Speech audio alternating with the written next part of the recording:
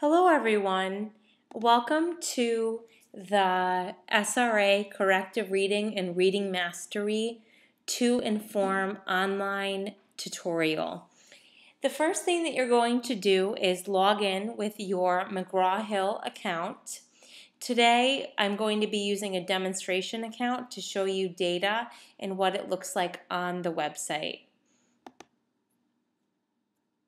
So when you get into ConnectEd, you're going to click on the SRA 2Inform tile.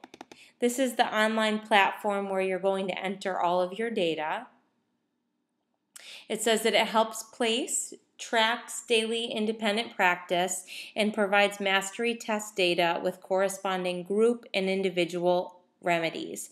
And it involves includes a variety of reports um, with your mastery tests and aids with progress monitoring. So when you get to this platform, the professional learning environment is where you can view videos, go through an online tutorial and download a certificate to get credit. Um, there's a user's guide on how to use 2Inform. And for administrators like coaches and principals, this is your online guide when you look at the administration view. So teachers are going to click on the SRA 2Inform tile. And you're going to click on the program that you teach. First, we're going to work in reading mastery, and then we are going to look at corrective reading. So first, we're going to use, look at reading mastery for kindergarten through second grade teachers that teach this program. And this is what your homepage looks like. There's the data entry, reports, and students and groups. So right now I am going to click on Reading Mastery Signature Edition First Grade for demonstration purposes. And the first thing that I always click on when students are in front of me and I'm teaching is the new class session under daily lessons and I take attendance. So today is November 2nd. I am going to be teaching lesson 8 and it is going to be an instruction day. Some days you may be testing. It might be a remediation day after you test where you reteach. It might be a non-instruction day. Um, the only time I could think that this might happen is if you have like a field trip or something that made instruction not occur that day to log it in. And then you may have an instruction and a test day. So maybe you test for a little bit and then when you finish you start your next lesson. So I'm going to click on instruction day. I'm teaching lesson 8. I'm going to press OK and I'm going to take attendance. So I'm going to click mark all students as present because Valerie and Darlene are here today. And this is their instructional workbook. So as I grade their workbook, I'm going to put their score in here. So I'll just say maybe Valerie had one error and Darlene had five errors. But this would be after I complete my lesson.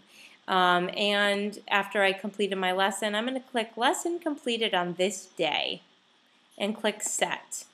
So this yellow bubble appeared and shows that my lesson is complete. I'm going to click another class session.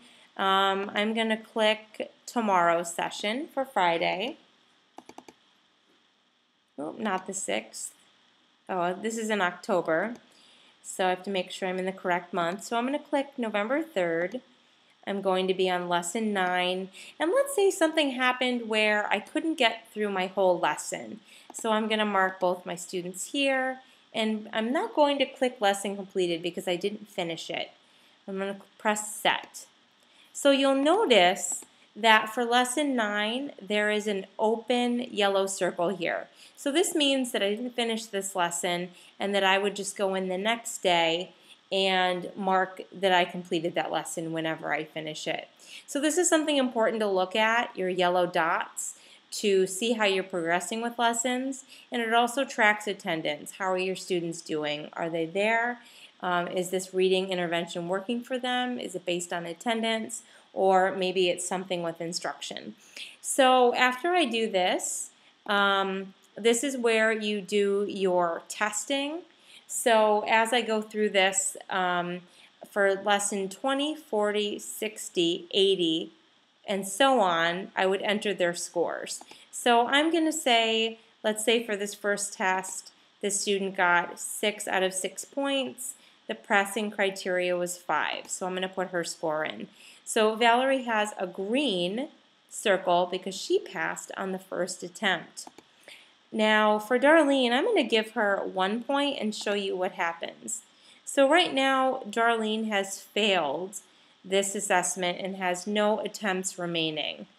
If I click it and let's say maybe Darlene got four points out of the five, I'm going to click edit. So let's say maybe I put that in wrong and she actually had four points. I'm going to click set and uh, okay, so it says she failed and she may attempt parts failed again. So sometimes depending on the error threshold, it will let you know um, if you need to reteach a lesson or not. So I'm going to edit this and set the threshold for the testing a little lower to show you um, what will happen here for remedies. So if I click on this wrench, it's going to tell me that I need to reteach my whole entire corrective reading group part 1 and it is page 54 through 55 and I'm going to go in that um, curriculum-based assessment handbook and go over that again and reteach it. Another thing that you'll be doing is the fluency checks, and we are going to assess every five lessons. So as I have the students in front of me, one by one, I'm going to have them read something fluently. And let's say this student read, um, and they, let's say that they read um, and had four errors, and they read in, let's say, 130 seconds. So I'm going to put this in and press set. So you can see this student right here has failed and she's not meeting the correct limit that they need to for their fluency lessons. So every five lessons you're going to record data or depending on what your administration says you may be doing fluency every lesson. I would think for reading mastery you'll probably be doing every lesson but again check with your administrator to see um, how many of the fluency lessons they want you putting in. So I would say for this, probably every one because it goes 5, 10, 15, 20, and that's every five lessons. So um, that's the fluency check piece. So after I've entered my daily attendance, if I was testing, I entered my assessments for that day and wrote in my fluency checks. I want to look at my reports and see how my students are doing. So I'm going to again select my group and right now I can see that my students have 100% attendance and they're, they've completed one lesson with 95% of um, their independent work completed. So this is um, a test that was given and part one it looks like 50% of the people passed, one person, and then for here, the one person failed this part. And the threshold is 75%. I'm going to click on Group Summary, and it gives me an idea of how my students are doing and if I need to do a group rem remedy or a reteach. So for here, um, Darlene did not pass this part, so I would be giving a um, group remedy where the failed parts is 25% or greater. You can also um, print the currently open tests to have all of your data um, if you need to hand it in for any type of tracking. CBA trends, you can see um, how students are doing individually, and then you can also see how your class is doing overall. And again, we're looking for that target of 80%. This is your reteaching where you can select by lesson for how you're going to reteach. This is the group fluency progress. Down here is the number of errors and up here is words read per minute. The green line is the target line. Daily lesson progress. So, so far with the data I entered, um, we have completed our lessons. And for individual reports, if you need to pull data on a student, you can pull by a snapshot, which shows their attendance, independent work,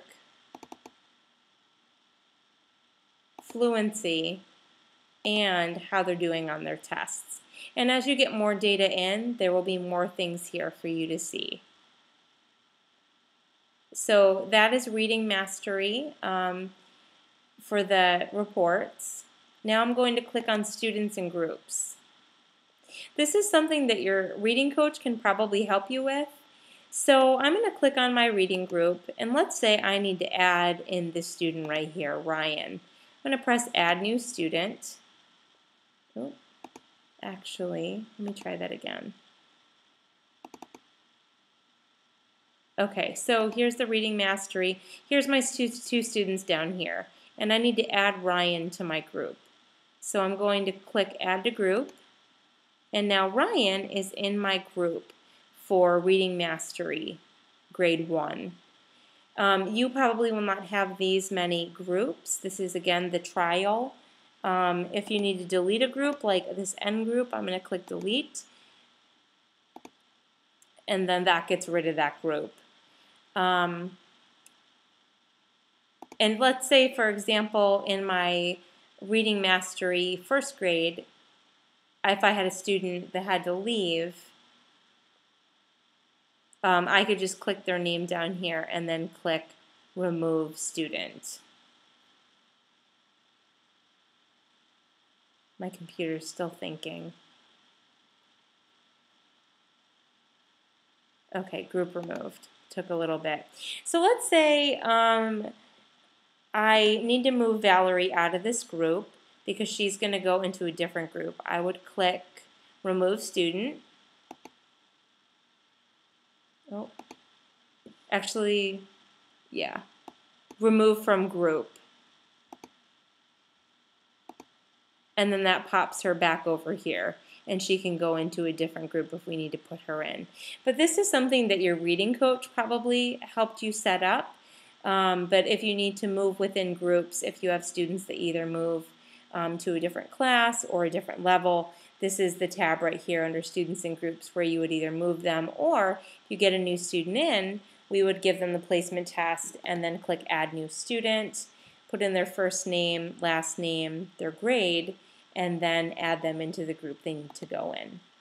So that is the Reading Mastery and what that online platform looks like.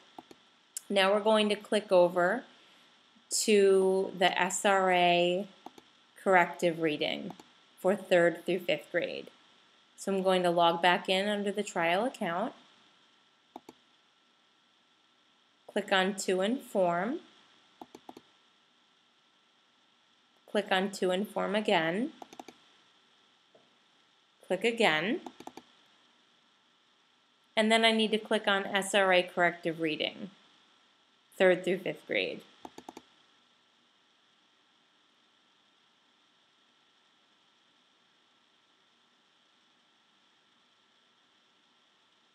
I'm going to select my group. I'm going to work with B1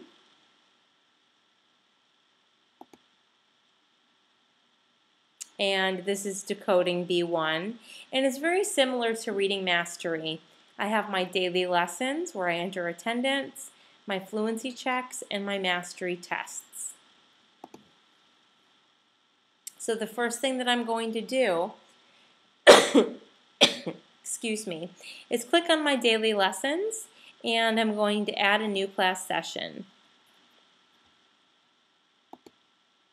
My students are in front of me. I'm going to click on the lesson that I'm teaching. Let's say today is a test day. And I'm going to mark all my students present, but Patricia, she's not here today. So I'm going to mark her absent. And then I'm going to press set.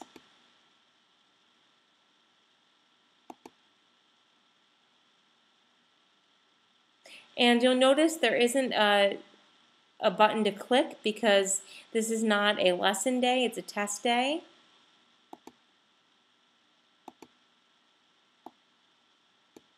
Okay, and here's my lesson right here. So I'm clicking set. I thought this would go away, but it's showing here November 2nd.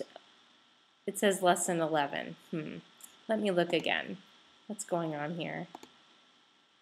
So how about, okay, so for a test, you click no lesson and test day.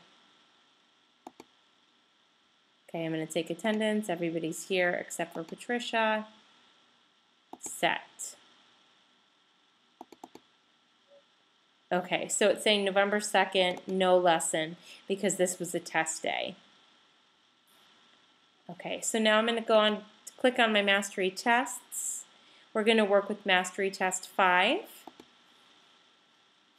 And for each student, I'm just going to click how many points they got for each part and press set.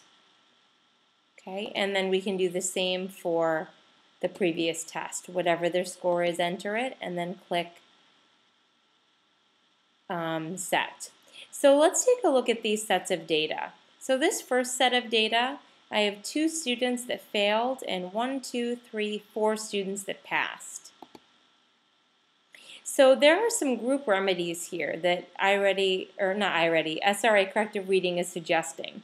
They're suggesting that I go over lessons 8 through 10 with the writing letters for sound lesson. So it's only part 1.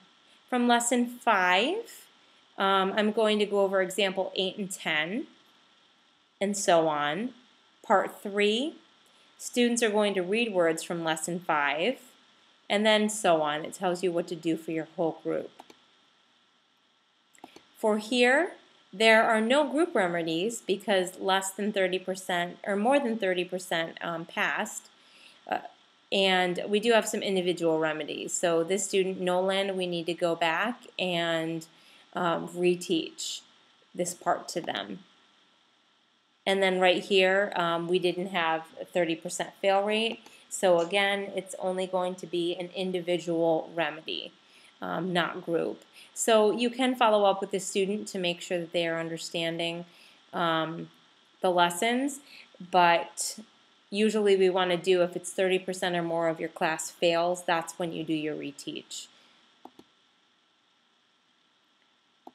Then we click on fluency checks. Um, again, I believe as a district we are doing every fifth lesson. So please check with your administrator to see if that is true. Um, when we click on our data, you can see that these students, they had their word count, how many words they read in one minute, and their errors.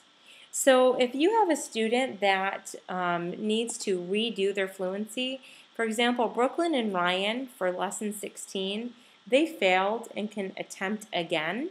So I would just talk to Ryan and Brooklyn and tell them, you um, didn't pass this passage and I would go over um, how many words they read per minute and what their errors were.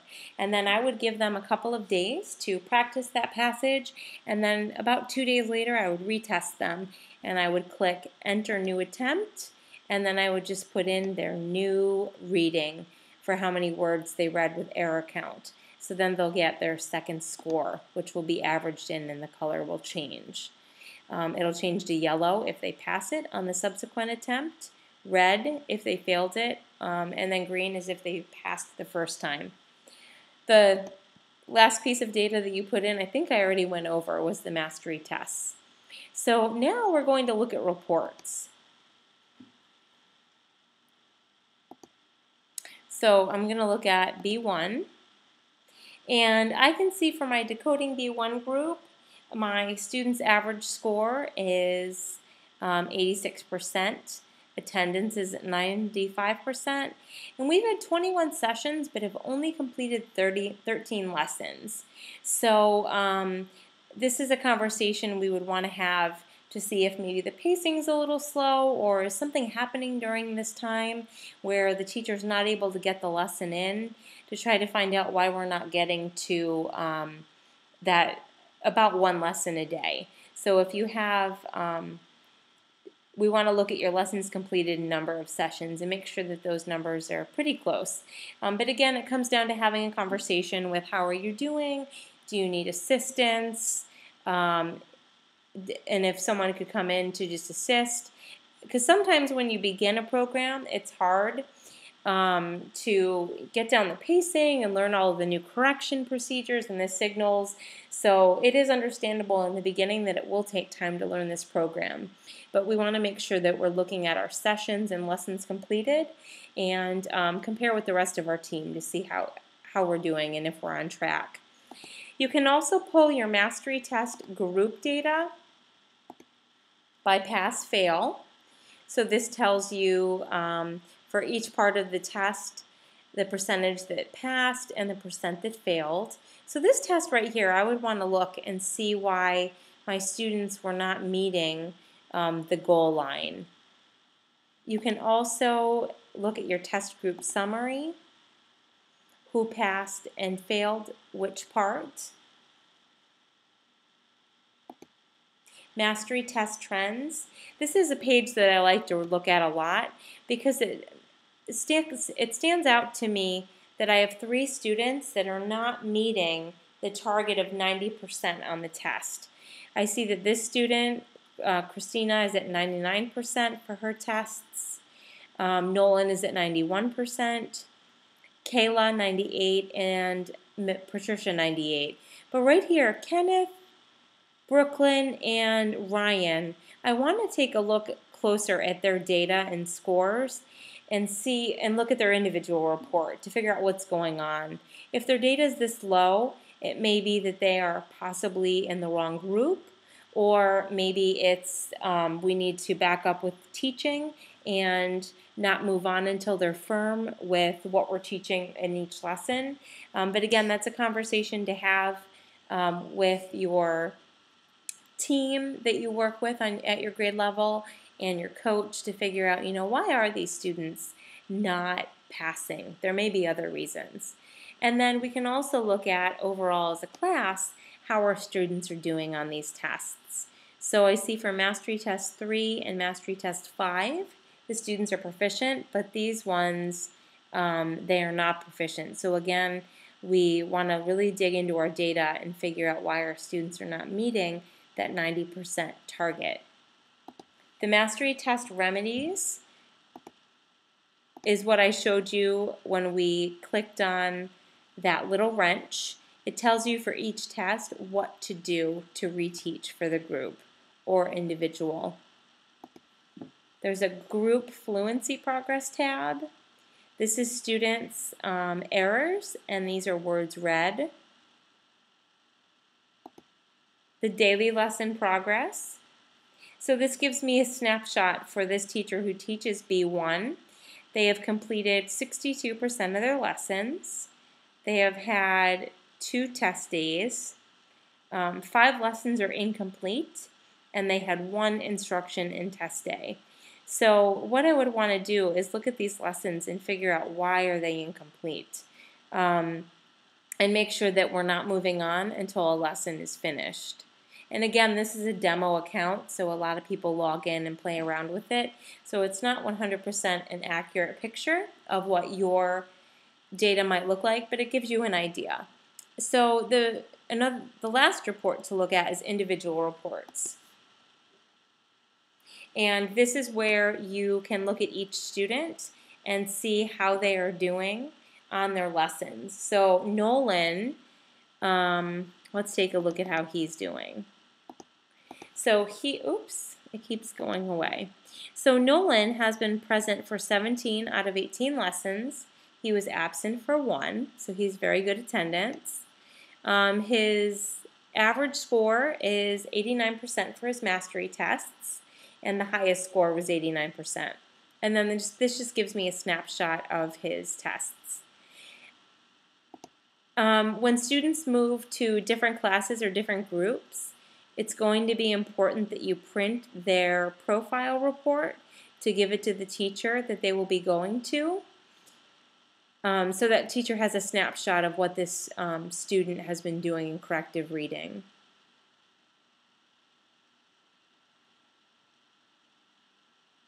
And I'm trying to get the print preview to load for you.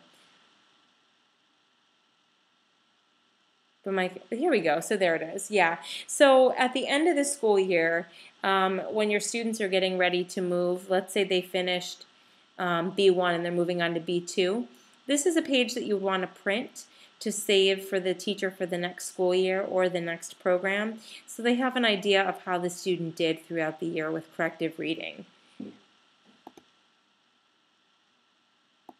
And also in corrective reading, the same as reading mastery, you can add and remove students to your group. But so the biggest pieces for corrective reading is that you are taking your daily attendance. Fluency checks are done every five lessons, but please check with your administration to see what their expectation is. And mastery tests are recorded and retaught as needed. The report tab is really important to check and see how your class is doing on the tests as a group and individually how students are doing. So if you have any questions, please contact myself, Lynn Yurschak, or your administration if you have any questions about corrective reading and reading mastery, and we can help make you um, have a successful, a, I'm sorry, a successful school year with this program.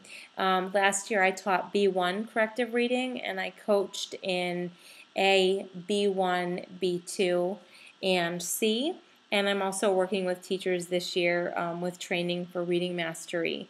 So if you need anything, please uh, reach out to your administration, coaches, or um, your school improvement team for help. Thank you, and I hope that this training was benef beneficial for you. Have a good day.